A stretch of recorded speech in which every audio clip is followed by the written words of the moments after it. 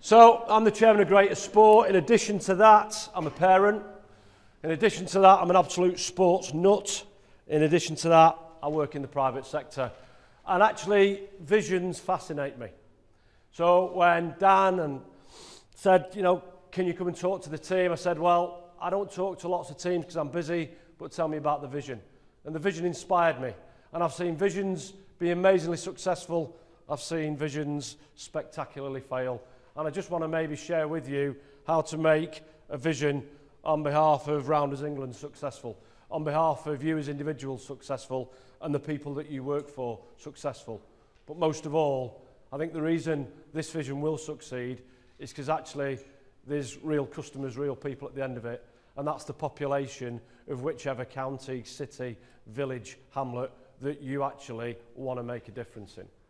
So I just thought I'd share with you my vision, and it's a personal vision. I've had it since I led my first team a long time ago, so we'll just say. And it's actually, when I get up in the morning, I want to consistently deliver outstanding results, not mediocre results. You know what? If I wake up, mediocrity comes with me. To actually deliver outstanding results takes effort. I actually want to develop winners in life because I can get outstanding results by beating the living daylights out of people in the short term. It just doesn't work.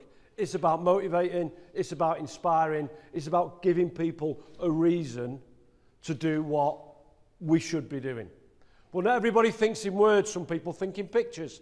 So I'll show you my pictures. I like to win. I don't think it's a bad thing winning, provided you win the right way.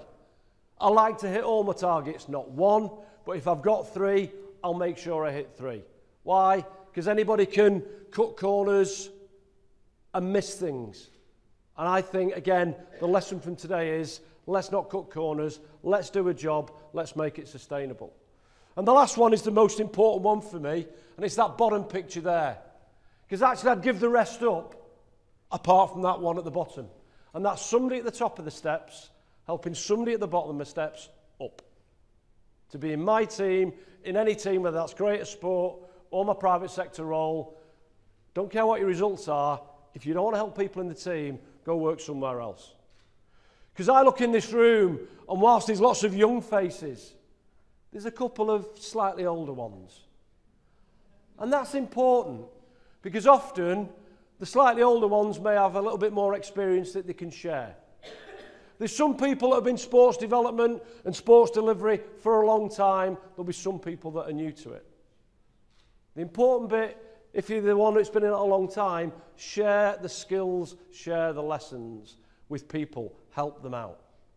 And if you're in the public sector, the reason why it's a good thing, if you're slightly on the older scale, because the person you're sharing it with is called your pension.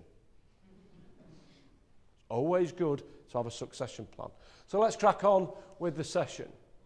And what's my session? My session is how does everyone in this room achieve the vision for Rounders for 2013 and beyond, for Rounders England. That's why you're here. I can't believe you came here to Birmingham from all parts of England for a day out. You came because you want to make a difference. Let's be perfectly honest. You don't work in sport for the money, do you? You do it because it's a vocation. You do it to make a difference. That's why you're here. Rounders England, ignite the passion. What a fantastic ball. Brilliant. Doesn't it just say it? Doesn't need words. That's why you're here. Now, I want to find out whether or not the people in this room can and will ignite the passion. So I need you all on your feet please. You've been sat down now for hours. And just to check, you're all stood up because I can't tell from down here. I'm going to ask you two questions and I want the answer. The first question is Who are we? And the answer is Rounders England. the second question is What's our vision? And the answer is Ignite the passion. So, who are we? Can't hear you! Who are we? Who are we? Who are we? What's our vision? What's our vision? Can't hear you. What's our vision? What's our vision? Who are we? Not bad. and let me tell you why I do that exercise with any team that claims to have a vision. You can sit down, thank you.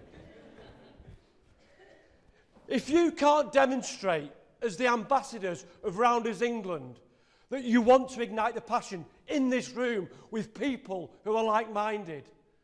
And quite frankly, when you go back to your day job and the emails arrive and the boss calls you in and the crap happens, if you can't do it here, you won't be able to do it out there. You're the ambassadors. You've got to have passion. And it's passion that will carry the vision through. Thank you.